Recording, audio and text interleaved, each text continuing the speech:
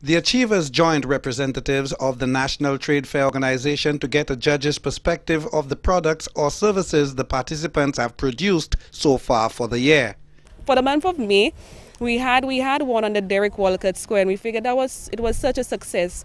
Um, this is the first time that we're merging our National Achiever, the, our interviews, and the trade fair together because we We've realized that the judges all they see is uh, the participants and they interview them, but they never they never really get to see what the our what they brought to the table. So it's really a, an opportunity for the judges to see to, to, to really see the tangible things that, that, that they create that they created innovatively.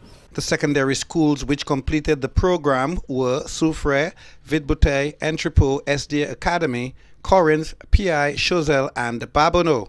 The business ventures ranged from creating beaded items and book covers to selling t-shirts. One individual would have been selected to participate today. So what we're looking at is to learn from them what they learned throughout the year, um, how they understood the, the business principles that they were able to practice during that time, and also about themselves. Well, what were they able to gain during that experience, and how will it help them to be an ambassador for Junior Achievements in Lucia, an ambassador for their schools.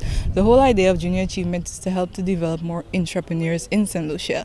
Of course, some people have to be employers, some will be employees. So we're hoping that a, a good group of entrepreneurs will come out from the program. Junior Achievement St. Lucia says it's here to give students the hands-on knowledge they need to venture further into the world of business.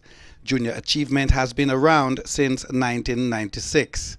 For the DBS News World, I am Alex Bousquet.